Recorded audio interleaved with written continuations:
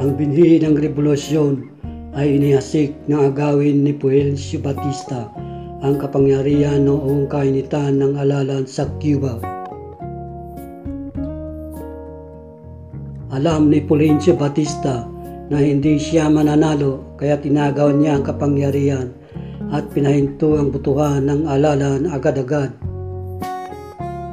Maraming tao ang nainis kay Batista dahil ginamitan niya ng dahas upang agawin ang kapangyarihan ng may kapintasan.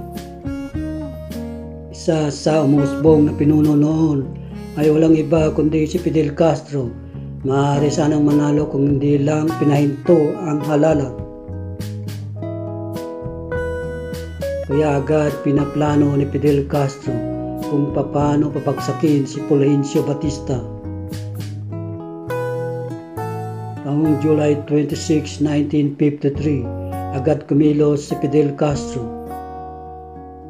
Para manalo sa revolusyon, kailangan niya ng maraming armas, kaya nilusob niya ang imbaka ng mga armas sa Moncada Barracks. Ngunit sa kasamaang palad ay nabigo si Fidel Castro sa una niyang pagkilos. Marami sa kanyang mga tauhan ang nakatakas ang bakbakan ay tumagal ng isang oras. Marami ang namatay sa mga rebelde na kakampi ni Fidel Castro. Si Fidel Castro ay tumakas ngunit nahuli rin ang mga sundalo ni Batista. Kaya si Fidel Castro kasama ang mga rebelde ay dinala sa publiko upang litisin. Si Fidel ay biyasang abogado Sinabi niya kaya lamang siya umawak ng armas ay dahil bilang isang tapat na ng Cuba ay karapatan niyang gawin iyon. Si Fidel Castro ay natulang makulong labing limang taon kaya siya ay naging tanyag na bayani sa Cuba. Taong 1955 ang pamahalaang Batista ay nagpalaya ng mga political prisoners tulad ni Fidel Castro at Raul Castro. Samantala si Fidel at Raul Castro ay pumunta sa Mexico at magtipon-tipon para pag-usapan ang susunod na hakbang para sa revolusyon. Sa Mexico ay sinalubong sila ng mga bagong kaanib ng kilotsan ng 26 of July movement tulad ni Che Guevara at Camilo Cienfuegos.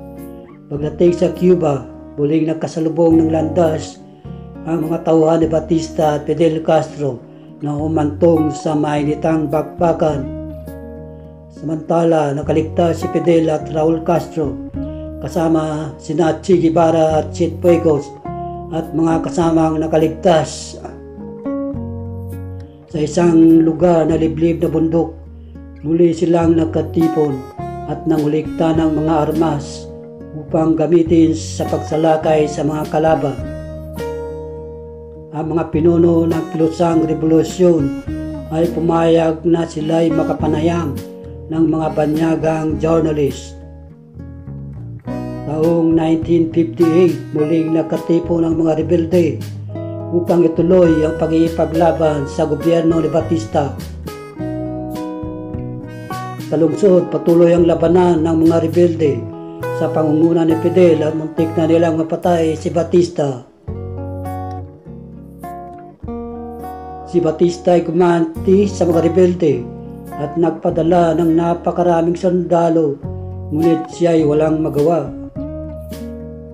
Taong 1958, inihanda na ni Fidel Castro ang kudita sa gobyerno ni Batista. Ang muling taong 1958, Patuloy ang pananalakay ni Fidel kasama si Che Guevara at Cienfuegos at mga rebelde tapat kay Fidel Castro. Samantala, kipagayos ang mga opisyal ng gobyerno ni Batista upang hinto ang madugong sagupahan. Samantala, si Batista at ang mga kasama ay tumakas dala ang mga ninakaw na gamit taong January 2, 1959 ang mamayan ng Cuba ay sabay-sabay na lumabas sa kalsada upang batiin ang mga rebelde. Pagdating ni Fidel Castro sa Habana, siya ay sinalubong ng napakaraming tao na nagbubunyi ng kanyang tagumpay kontra sa gobyerno ni Batista. Ang magkapatid na Castro ay nagsama sa kapangyarihan upang pamunuan at pagkasunduin ang iba't ibang grupo ng mga rebelde na tumulong sa kanila upang magtagumpay. Si Raul Castro at Che Guevara ay natasang mamuno upang hanapin at litisin ang Batista era war criminal sa lumang rehimeng Batista. Sa simula ay nasa panig ng nasyonalista si Fidel, ngunit para sa kanya, mas matimbang ang kanyang paniniwala sa komunista.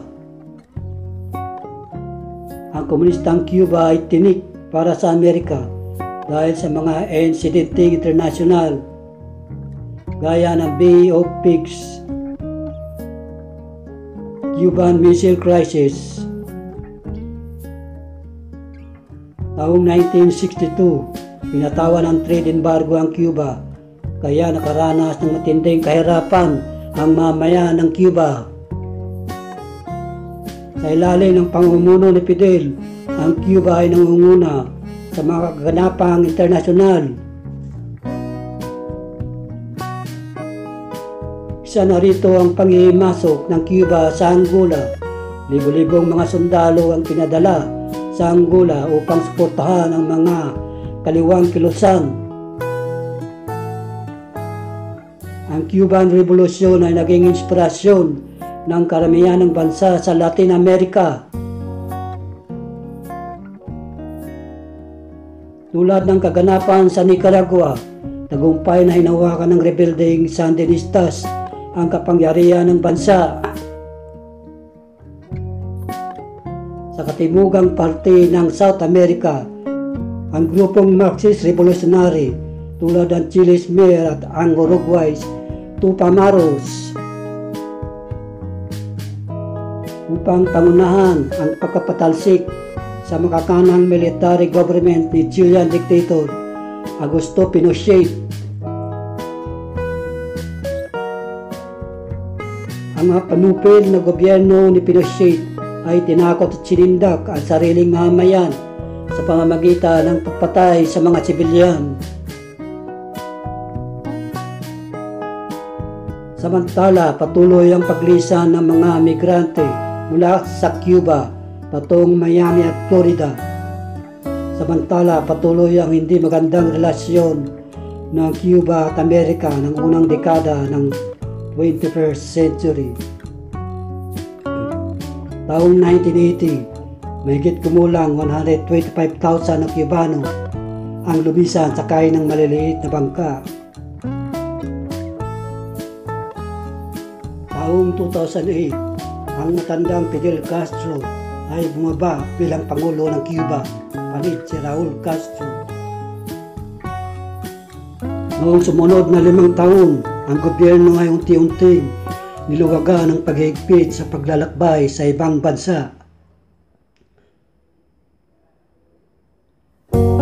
Sa pamumuno ni Raul Castro ay pinahintulutan ang mga aktibidad sa ekonomiya ng mga pribadong mamamayan.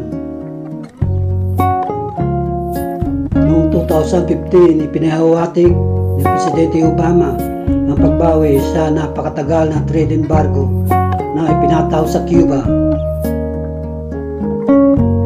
dahil sa pahiwatig ni Presidente Obama ay dumami ang manglalakbay mula Amerika para ipagpalitan ang kultura sa Cuba.